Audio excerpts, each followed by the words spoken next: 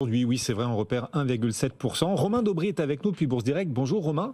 Est-ce que la, baisse du jour remet en cause que le marché commençait à construire depuis quelques séances? Est-ce que voilà, le regain de potentiel haussier euh, se trouve là remis en cause par la séance du jour?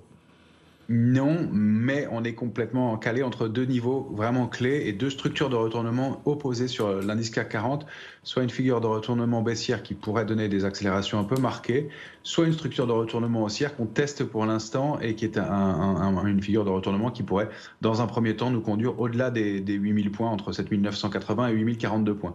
Et on, a réintégré le niveau de neutralisation sur l'indice parisien qui était 7566, 7803, niveau d'extension qu'on vous avait donné la semaine dernière. Donc on est allé parfaitement chercher la cible graphique.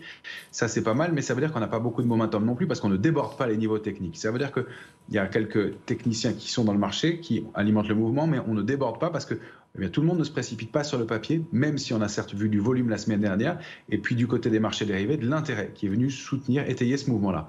Mais dès vendredi, on a constaté un peu de prise de bénéfices, euh, non pas euh, en termes d'évolution de, l'indice, mais du côté des marchés dérivés, avec une baisse de la position ouverte du nombre de contrats futurs.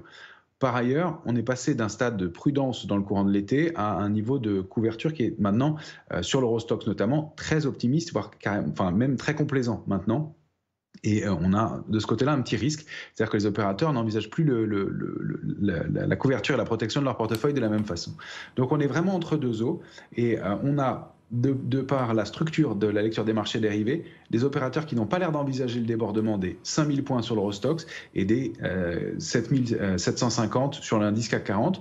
Donc on, est vraiment dans un marché où on pourrait accélérer à la hausse et ce mouvement pourrait être un peu violent, mais on n'arrive pas à trouver le momentum pour poursuivre tout de suite. Et le repli du jour mhm. est quand même assez fort, assez marqué, même si on a connu des mouvements assez importants la semaine dernière. Il faut rappeler aussi, et c'est important de le dire, qu'on est allé chercher très rapidement, en quelques heures, des cibles graphiques sur les valeurs du, luxe notamment, et que donc on a besoin de consolider, comme vous le disiez, assez instantanément, mais que euh, tout ça se produit dans un contexte où les opérateurs sont peu présents et donc des décalages dans le vide avec un niveau d'intérêt sur les, sur les futurs qui est très faible et qui alimente ces décalages. C'est-à-dire que quand on prend des décisions, bien, elles sont augmentées, elles sont renforcées par cette absence d'initiative. Intéressant, effectivement. Alors comme on dit dans cette famille, la famille BFM Bourse, quand on est entre deux eaux, vous nous disiez on est entre deux eaux. Ben, quand on est entre deux eaux, il faut se méfier de l'effet ciseau. C'est ce qu'on se dit tous les jours, nous, ici dans BFM Bourse. Et on a envie du coup de savoir quels sont les prochains seuils techniques à suivre, ceux qui pourraient provoquer des accélérations, que ce soit à la baisse ou, ou à la hausse sur le CAC 40 notamment, euh, Romain à la baisse, on y est quasiment. On va nous fixer 7617 points sur le futur CAC 40 d'échéance euh, octobre comme euh, alerte intraday.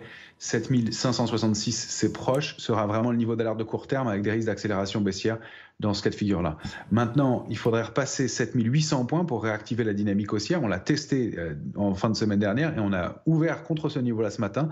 7803, c'est vraiment le niveau où on pourrait envisager du mieux. Donc, tant qu'on est au-delà des niveaux d'alerte que je vous ai donnés, c'est plutôt positif pour le CAC qui pourrait donc bien continuer son, mouvement et aller chercher une zone au-delà des, des 8000 points sinon, comme euh, action, vous suivrez euh, Schneider. Alors, Schneider qui est en baisse hein, aujourd'hui, hein, moins 46, 236,85 euros. Mais c'est une valeur qu'on cite souvent comme euh, ayant énormément de potentiel. Vous vous dites, gaffe, c'est peut-être le moment de prendre des bénéfices. Ah, c'est, graphiquement, en tout cas, le, message est, clair, hein, puisqu'on a eu toute une série de, de, bougies la semaine dernière qui nous indiquent qu'il faut le faire, notamment ce que les chartistes connaissent bien comme une structure en étoile du soir on a un une accélération haussière marquée, puis la bougie du jeudi 26 septembre qui est euh, un gap haussier qui se termine avec un petit corps est en bas de cette bougie euh, et on ouvre le lendemain, vendredi, avec un gap baissier. Cet alignement et puis la baisse du jour qui le confirme aussi. Donc cet alignement de, bougies, de trois bougies au moins, euh, indique un probable retournement de tendance. Encore une fois, trois bougies ne font pas une tendance, mais c'est déjà un signal fort contre des niveaux de, de résistance qui sont importants. On préserve pour l'instant 235,60. Le premier support majeur en dessous, c'est 230, vraiment à préserver. Le risque, c'est d'aller chercher 219,50. Donc je le prends un petit peu comme point de repère parce que c'est effectivement la valeur forte des derniers mois euh, sur l'indice sur CAC 40. Et attention, quand les valeurs fortes commencent à faire l'objet de prise de bénéfices, on en a une autre comme AXA qui est assez symptomatique de, de, ce contexte-là. Euh, attention, dans ce contexte-là, ça peut faire pencher la balance. Effectivement, effectivement. Alors même si sur les fondamentaux, on était avec Bertrand Lamiel, tiens, tout à l'heure pour Pense en part, il nous disait c'est presque une valeur chinoise, Schneider Electric, euh, voilà, pourquoi pas investir de... La relance suite. Bon, pourquoi pas, nous disait c'était à 16h. Le replay, l'argumentaire de Bertrand Lamy, Ports par Gestion à retrouver sur notre application BFM Business. Merci Romain. Peut-être pas. mais valeurs IA, moi je la mettrais dans les valeurs IA, gestion de l'énergie.